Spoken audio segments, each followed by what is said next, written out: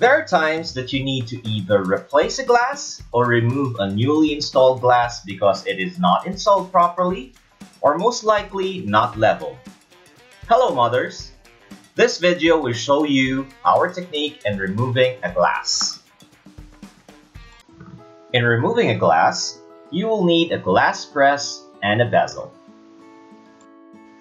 The bottom of the die should be slightly larger than the glass, so that when you press the glass, it should fall off exactly inside the die hole. In removing the glass, you would need to use a bezel as a lever as there is a tendency that the glass will get stuck at the die without it. It can chip either your die or your case. Using a bezel as a lever is just a simple hack we use for this process.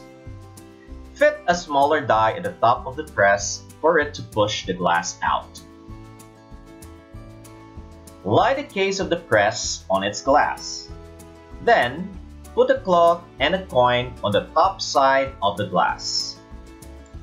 Putting a coin and a cloth on top is a technique we use to avoid scratches. It cushions the force of the press that most of the time damages the AR coating of the glass.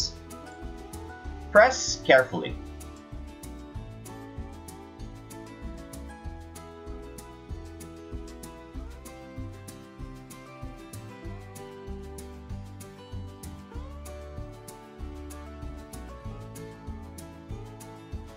The glass is finally out.